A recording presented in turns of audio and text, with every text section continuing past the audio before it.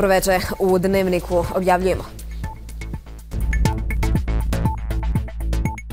Omikron stigao i u Bosnu i Hercegovinu. Novi soj potvrđen kod 10 osoba. Razloga za paniku nema. Simptomi su blaži, da kažem, da uglavnom ide kao glavobolja, e, curenje nosa, neka grlobolja. Dom Naroda Federacije usvojio zakon kojim ograničava rast cijene električne energije više od 20%. Mi smo napravili održivo rješenje koje neće ugas privredu koje će sačuvati radna mjesta. Privrednici i dalje u neizvjesnosti. Zakon ide na usaglašavanje. Je li na pomolu ekološka katastrofa u Banja Luci, zabrinjavajući izvještaj o zagađenosti zemljišta i ugroženosti životne sredine? Sastavlja li se ili rastavlja opozicija u Republici Srpskoj? Jelena Trivić prihvatljiv kandidat za predsjednicu Republike Srpske, koji je prihvatljiv za člana predsjedništva. SDS mudro šuti, Vukanović tiho priželjkuje. Svakako sam i ranije i sada izrazio spremnost da prihvati tu kandidaturu. Nešić i dalje spreman na pregovore. Dimitar Kovačevski naslijedio Zorana Zajeva, od danas izvanično novi mandatar za predsjednika makedonske vlade. Opozicija kaže nastavak zajevizma. Dom Naroda Federacije usvojio je zakon o ograničavanju cijene električne energije i amandmane Elmedina Konakovića i Janera Žuljevića. Ohrabrujuća je to vijest na moment za privrednike, no s obzirom na to da su različiti tekstovi usvojeni u dva doma, poskupljenje je i dalje neizvjesno. Inače, konačnom usvajanju prethodila je žustra rasprava, jer predstavnici vlade nisu čak ni prisustvovali sjednici. Replika na repliku, žustre rasprave i jedva održiv kvorum. U takvoj atmosferi usvojene su izmjene zakona i ono najbitnije, amadmani delegata. Prema njima vlada federacije mora reagovati ukoliko cijena električne energije naraste iznad 20%, a ne kao u prijedlogu zakona 50%. Pri tome cijena se mora ograničiti isključivo na 20%. Mi smo napravili održivo rješenje koje neće ugas privredu, koje će sačuvati radna mjesta i koja dugoročno znači da imamo praktično održivu ekonomiju i nećemo i zaustavit ćemo odlazak ljudi iz ove zemlje. Sad je na predstavničkom domu da se zove vanrednu sjednicu, sutra zakaže za petak i usvoje naše rješenje i tad imamo tekst koji stupa na snagu u ponedljak. No pitanje je hoće li. Vremena je malo, a iz SDA nisu uvjereni da će se sve stići do kraja ove godine. Zbog situacije gdje sada postoje dva različita teksta, privredni subjekti i dalje su ugroženi. Mislim da smo bili negdje na 70% od onog da se u konačnici dogovorimo, ali evo prevladala jedna isključivost, čak i situacija da nam se prijeti izlaskom sa sjednice da se naruši kvorum, što smatramo subverzivnim, politički neprihvatljivim i s te strane sam razočaran, a s druge strane, evo, u ovoj ovakvoj situaciji opet treba biti hladne glave i trezven i e, da u narednom periodu što je moguće kraće predstavnički dom i dom naroda dođu do zajedničkog teksta. Dakle, privrednici i dalje u strahu, građani na čekanju, a tema toliko bitna da se na sjednici nije pojavio niko od predstavnika vlade federacije, zbog čega su delegati prijetili prekidima, napuštanjem sjednice i iznijeli brojne kritike. Zaista smatram bespredmetnim da mi danas o bilo čemu pričamo, da neko to smatra pritiskom ili ne, a da u ovoj sali nema čovjeka koji je najodgovorniji za ovakvo stanje u federaciji. Dakle, imam dva pitanja, nemam blage veze kako će mi Duvnjak na njih odgovoriti. Mi nemamo cijeli dan premijera, mi nemamo cijeli dan ovdje resornog ministra gospodina Đindića. S te strane ne možemo nikako biti zadovoljni da su na jedan ne principijelan, neprevedan način sav teret prebacili na kolegu Jasmina Duvnjaka, da se on bori sa svim onim upitima gdje nama struka treba leći šta se u biti u ovoj zemlji događa. Resorni ministar u najmanju ruku mora doći i objasniti stvari, isto tako što, kao što je objasnio rudarima. Šta to znači? Izbjegavati nešto ne znači da će se to riješiti. Podsjećamo, privrednici su nebrojeno puta naglasili da mogu podnijeti povećanje do 20%, ali ne i više. Danas zadovoljni, ali i dalje pred novim ugovorima i bez vladinog ograničenja. Na potezu je zastupnički dom. Nakon što je Narodna skupština Republike Srpske usvojila entitetski zakon o lijekovima i medicinskim sredstvima, u službenom glasniku osvanuo je ukaz predsjednice Željke Cvijanović. Njime zakon stupa na snagu za šest mjeseci. Podsjetimo, ovo je prvi konkretan potez vladajućih iz Republike Srpske kada je riječ o vraćanju nadležnosti sa države na entitet. Na ukaz je reagovao predsjedavajući predsjedništva Bosne i Hercegovine Željko Komšić. Kaže da tamošnje vlasti očigledno ne mare za bilo kakva upozorenja između naroda međunarodne zajednice, zbog čega je najavio da će podiniti krivičnu prijevu. Ako se ovo nastavi, sutra će se isto desiti i sa oružanim snagama, sa pravosuđem, a kad se desi, ta će se morati odgovoriti silom, poručio je Komšić. Cilj, interese i političke potezi, sve u zavisnosti od aktuelne situacije i pregovaračke pozicije. U skladu s tim, dugogodišnji prijateljski odnosi Milorada Dodika i Dragana Čovića dobili su novu dimenziju. Za razliku od Čovića, Dodik otvoreno zagovara treći entitet. Bez njega, kaže, nema ni funkcionalne države. Ruku pod ruku, dugogodišnji partneri i samoproglašeni legitimni predstavnici dva naroda, skupa ka strateškom cilju podijeli države, svako za svoje interese uz međusobnu nesebičnu podršku, pa su neskrivene želje jednog postale glas drugog. A ja opet mislim da bez trećeg entiteta nema nikakve Bosne i Hercegovine. To, to ja mislim da to bilo fair. I sve se može dogovoriti teško, osim kada su u igri lični ili stranački interesi. U odnosu Čović-Dodik prije pravilo nego izuzetak, rečeno i dokazano. Nećemo daleko u prošlost. Ovo je sjednica Doma naroda, državnog parlamenta i izbor HDZ-a BiH.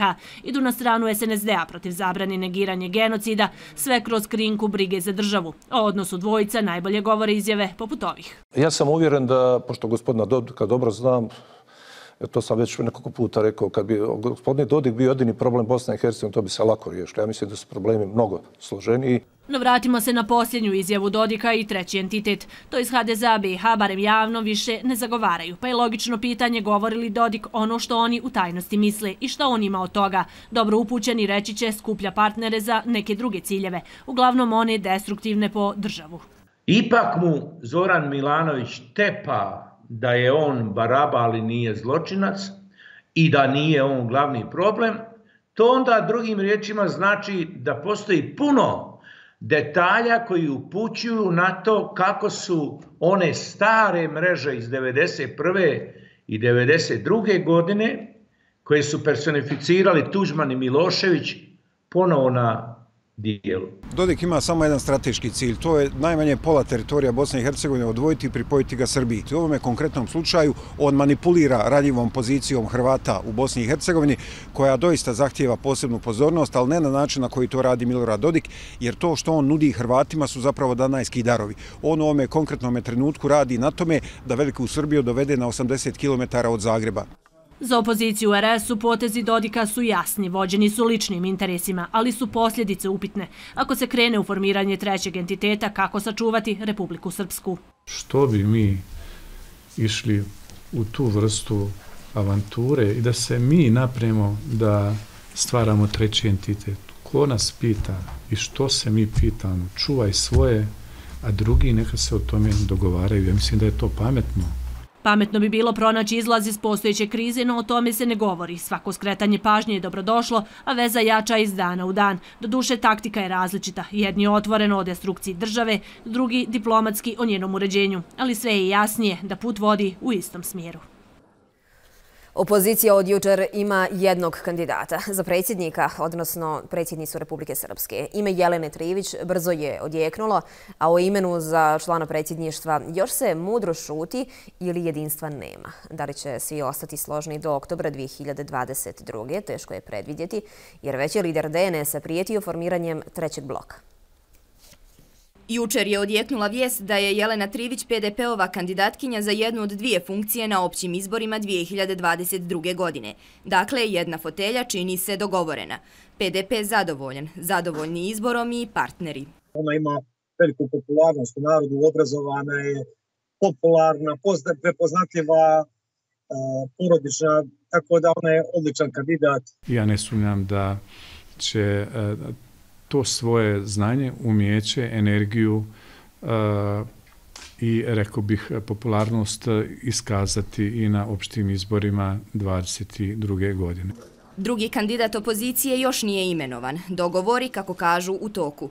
Ipak, lider SDS-a poručuje jasno da će jedan od kandidata biti član njegove stranke, dok Vukanović, koji istina djeluje u klubu SDS-a, ali se vodi kao samostalni zastupnik, nešto skromnije izražava želju da fotelja u državnom predsjedništvu bude njegova. Srpska demokratska stranka će imati svog kandidata i jednog od dvije inokosne pozicije. Za koju poziciju? O tome ćemo se dogovoriti sa našim partnerima sa kojima budemo u jednom opozicionom bloku. Koliko e, ankete pokažu istraživanje da, e, da ima veliku popularnost izgled u narodu i okoliko opozicijne stranke e, podrže, dakle prihvate rezultate ankete i istraživanja, svakako sam e, i ranije i sada izrazio spremnost da prihvati tu kandidaturu koja je velika obaveza, ali i velika čast. Njihov do sada opozicioni kolega Nešić ranije je spominjao formiranje trećeg bloka ukoliko kandidati budu imenovani bez dogovora. Za Jeleninu kandidaturu kaže da je obavješten unaprijed putem telefona, a za sljedećeg kandidata poručuje da očekuje dogovore. Ipak ne isključuje mogućnost samostalnog djelovanja ako kandidat ne bude zajednički kandidat cijele opozicije. U ovom trenutku da li će biti formiran treći blok ne zavisi od DNS-a isključivo zavisi od SDS-a i PDP-a ukoliko oni ne, ne e, prihvati našu ispruženu ruku, naš, naš spremnost za razgovor i dogovor, normalno da ćemo mi odlučiti kako dalje politički djelovati. I možda nije pravi naziv treći blok, možda je pravi naziv drugi opozicioni blok u Republike Srpskoj. No, pitanje je može li opstati kao takav ili će s vremenom postati opozicija opoziciji, odnosno vratiti se u nekadašnje redove. Pitanje je i da li će, ukoliko izuzmemo Nešića, preostala trojka ostati trojka ili će ih i prije izbora posvađati fotelje. Opet zabrinjavajući broj novozaraženih u Bosni i Hercegovini. U prethodna 24 sata registrovano je 800 slučajeva zaraze. Preminulo je 29 osoba. A zabilježen je i novi soj Omikron kod 10 građana. Novi soj koronavirusa Omikron stigao je u našu zemlju. Omikron je već neko vrijeme izazov u cijelom svijetu, a nedavno je stigao i u zemlje regije koje zbog novog soja uvode i nova ograničenja. Ono što je za sad poznato jeste da se omikron soj širi brže. No, hrabrovića je činjenica da su simptomi i kliničke slike blaže. Nakon 3 do 4 dana imat ćemo i e, nakon urađenog sekvencioniranja potvrdu da se radi o, o omikronu i koji je pristan u Bosni i Hercegovini i koji sigurno će postati dominantan kao što je to u cijeloj Evropi u narednom mjesec dva. Simptomi su blaži, da kažem, da uglavnom ide kao glavobolja, e, curenje nosa, neka glavobolja.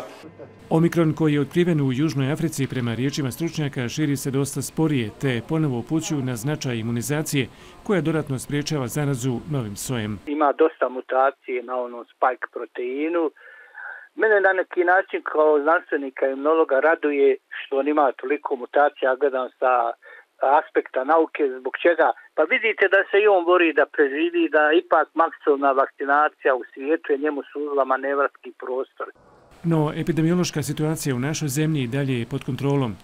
Nadležni još uvijek ne vide potrebu za novim restriktivnim mjerama. Fokus ponovo stavljaju na masovnu imunizaciju. Raste broj novih slučajeva zaraze koronavirusom širom svijeta u Sjedinjenim državama više od 300.000 novozaraženih, u Francuskoj 208.000 u jednom danu, što je ujedno i evropski rekord. U proteklih sedam dana u Evropi je potvrđeno više od 3,5 miliona zaraženih, što je u prosjeku više od 510.000 dnevno. Iz Svjetske zdravstvene organizacije stiže novo upozorenje. Ovaj virus će nastavljati evoluirati i prijetiti našem zdravstvenom sistemu ako ne popravimo kolektivni odgovor. Sada Delta i Omikron su dvostruka prijetnja koja vodi do naglog porasta broja hospitalizacija i smrtnih slučajeva. Veoma sam zabrinut što Omikron koji se lakše prenosi kruži u isto vrijeme kao i Delta te stvara tsunami slučajeve. Novi mandatar za predsjednika makedonske vlade, Dimitar Kovačevski, danas je formalno dobio mandat od predsjednika zemlje. Kovačevski, koji dolazi kao nasljednik Zorana Zajeva na čelu stranke i vlade, kaže da je već formiran tim koji se treba suočiti sa ozbiljnim izazovima za zemlju. Za opoziciju Kovačevski znači samoprodužavanje, kako kažu, zajevizma. Председник Северна Македонија Стево Пендаровски е уручио мандат за формирање нове македонске владе Димитару Ковачевском, кој е избран од владајуќе странке СДСМ као наследник Зорана Заева на страначким и државним функцијама и известувањето за После предлога за мандатара од Социјалдемократског савија за Македонија, поддржано од странака кои чине веćино у собрању, за мандатара определјувам Димитара Ковачевског, председника СДСМ-а. Живееме у турбулентни временима и многим проблемима за државо, сада се потребни стабилни и сигурни луѓи, каже Ковачевски. Од денес започнувам со формирање на новиот. Од данас почињем со формирањем новог тима луѓи кои требају одговорити свим изазовима кои нас чекају веќе од идуче године. За опозицију нема наде да се ствари за државо или за владајуќу странку бити боље со новим премиером.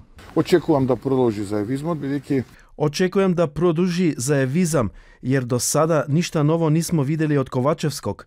Ne vjerujem u nikakav presvrt i produžit će slobodni pad te stranke. Prema makedonskom ustavu sada novi mandatar u roku od 20 dana treba pred parlamentom da predloži novi sastav vlade. Prema projekcijama do 17. januara bi trebala biti formirana nova makedonska vlada. Sead Rizvanović, Federalna televizija Skoplje.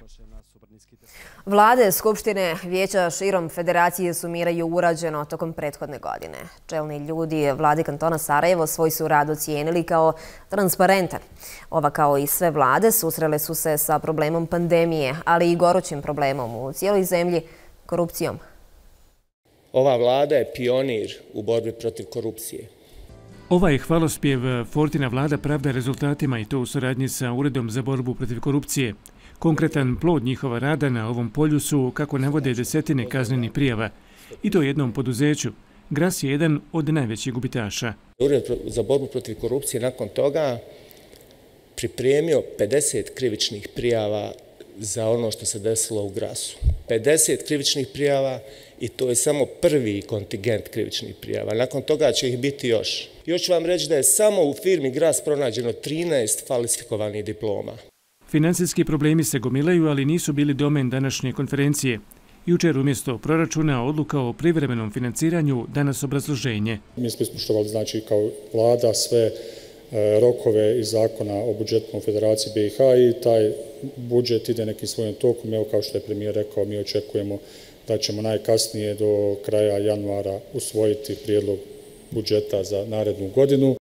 Ovoj vladi oporba je često spočitavala da je Facebook vlada, da se umjesto na terenu problemima bave podruštanim mrežama, no ono što im se pred kraj godine bio populistički potez ili ne, ne može negativno spočitati jesu nove naknade za porodilje u iznosu od 1000 maraka. Najveće do sada jednake za sve, i zaposlene majke i one na birovu. Iznos naknade je izjednačen. One porodilje koje su već uvedene u pravo, koje su dobile rješenja, koje primaju naknadu, e, e, počeo od 1. januara 2022. godine će primati znači, sve e, u uvećanom iznosu. Dakle, godinu su dobro završili. Pitanje je kako će sljedeću nastaviti. Premijer Edin Forto smatra da će 2022. godina biti godina nade, godina u kojoj će ljudi donositi odluke o svom životu, a oni će se, kažu, potruditi da poprave standard građana s tim da će im fokus biti na mladima. Kantonalni sud u Sarajevu odredio je jednomjesečni pritvor Savi Marinkoviću, osumnjičenom za ubistvo sarajevskih policajaca Adisa Šehovića i Davora Vojinovića. Izdata je i naredba za raspisivanje međunarodne potjernice. Potvrđeno je ovo za našu televiziju iz tužilaštva kantona Sarajevo. Podsjećamo Aleksandar Macan, koji je prvo osumnjičeni za ubistvo dvojice policajaca, predao se prošle sedmice. Njegov advokat Duško Tomić izjavio je da je Macan u tužilaštvu dao izjavu da je Savo Marinković policajcima pucao u glavu. Tužilaštvo Bosne i Hercegovine podiglo je optužnicu protiv devet osoba za ratni zločin počinjen u mjestu Zijemlje između Nevesinja i Mostara u ljeto 1992. Optuženi su nekadašnji komandanti i pripadnici Vojske Republike Srpske, a tereti ih se za zločine nad žrtvama bošnjačke nacionalnosti. Konkretno ubistva oko 100 žrtava, među kojima je bilo više desetina žena, osoba starije životne dobi, kao i djece u dobi od 15 dana do dvije godine. Pronađeni su posmrtni ostaci 49 osoba, dok se za 47 žrtava još traga. Dvije projekcije filma Kuda ide Šaida u jednom danu su čini se malo za Novi Pazar i interes koji postoji u tom gradu, pa će film od 4. januara biti svakodnevno prikazivan sve dok bude interesa. A kako Srbija stoji u ostalim gradovima kada je riječ o ovom ostvarenju, istražio je naš Dejan Košul. Dvije projekcije u jednom danu su malo za Novi Pazar i interes koji postoji u tom gradu, pa će film od 4. januara igrati svakodnevno dok god bude bilo interesa. A kako stojimo sa ostalim gradovima? Ja mislim da je ovo početak. To je jedno. Drugo, mislim da e, grešite i u tome da nema interesa u Novom Sadu ili Beogradu. U pitanju je nešto sasvim drugo. E, uobičana matrica e, da se nešto iznapada pre nego što se to pogleda, pročita, kada pre nego što se sazna šta je uopšte, je zadesila i ovaj film. Od mjesta do mjesta, od salice do salice, Nena Čanak vjeruje da će ovaj film stići do gledalaca u Srbiji, a do tada valja preći stotine kilometara. Nisam ja došao ovde zbog toga što film nisam gledao, nego zbog toga što je e, ova premijera u Srbiji e, mesto koje možda ću biti malo grub, ali ne i netačan, ali kažem drvo poznavanja dobra i zla onih koji su, će biti spremni da kažu da će se Srbija poznaje po tome da li je ovo početak ili kraj života ovog filma u Srbiji, će biti više ili manje. Ako je bude više, onda Srbija ima više šanse u budućnosti. Ja lično mislim da, da, da mimo Novog pazara nigde u Srbiji neće postojati ni volje, ni spremnosti da se ovaj film prikaže, upravo zbog toga što ovaj film otvara onu bolnu, bolnu, bolnu temu, bolna tema kroz jednu antiratnu, jednu, jednu priču koja je humana i ljudska. Tako, tako treba gledati na ovaj film. Ovo nije propagandistički film kako nam se želi ovaj servirati od strane onih koji ovaj film ne žele u svojim gradovima. Negiranje genocida se tako preliva i na negiranje postojanja ovog filma što pokazuje i interes medija za jučerašnju premijeru.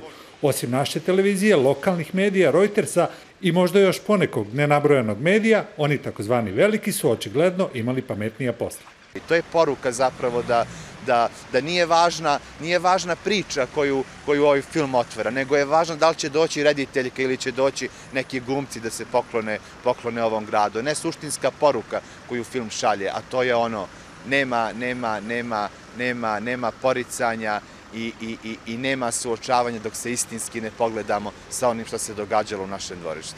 Poruka iz Novog pazara je jasna. Pitanje je samo da li smo svi spremni da je čujemo. Iz Novog pazara za dnevnik federalne televizije Dejan Košić. Banja Luci prijeti je ekološka katastrofa. Dvije godine nakon požara u bivšem privrednom gigantu Incelo, kada se zapalilo kancerogeno ulje Piralen, napokon je došao izvještaj o zagađenosti zemljišta i ugroženosti životne sredine. Ključne informacije su prezentovane u gradskoj upravi. Na pojedinim lokacijama unutar poslovne zone Incel u Banja Luci pronađene količine kancerogenog ulja Piralen u zemljištu su skoro 140.000 puta veće od dozvoljenog. Ovo se navodi u izvještaju firme Dekonta koja je vršila uzorkovanje zemljišta i građevinskog otpada. Prema zakonskim okvirima dozvoljeno je 0,02 mg po kilogramu, a u pomenutom izvještaju stoje frampantni podaci.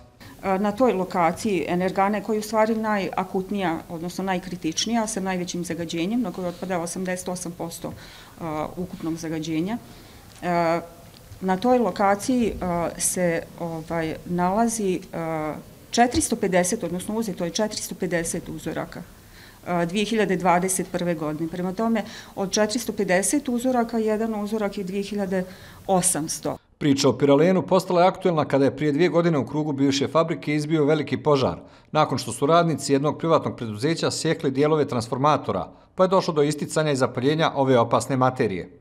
Odgovornost onih koji bi trebali da stoje iza svega toga ne postoji. Da postoji, Ovaj slučaj sa Piralenom je trebao da dovede do ostavke nadležnih ministara, pa čak i pada vlade.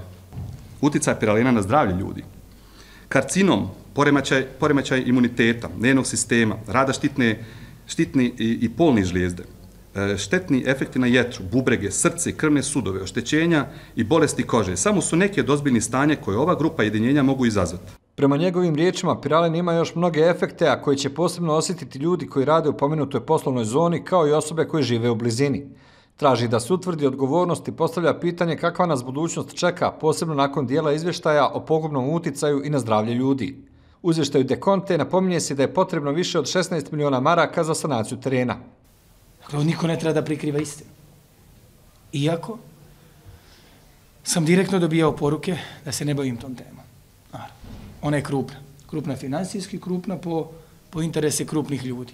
Znate. Šta su pokazale analize laički? Pa da, da je, da je to iznad svih granica prisustvo u zemlji. I da je štetno po zdravlju. I da ne znamo još pravu štetu. Prema navodima učesnika današnje konferencije, izveštaj de Conte se bitno razlikuje od prethodnog koji je ova firma radila 2020. godine, pa postoji sumnja da je neko pokušao da lažira podatke o zagađenosti zemljišta. Zbog zagađenja bit će poslate i nove krivične prijave u tužilaštvo. Toliko za večeras aktuelnosti sa sportskih terena ima Dario Mehmedović. Hvala na povjerenju i doviđenju.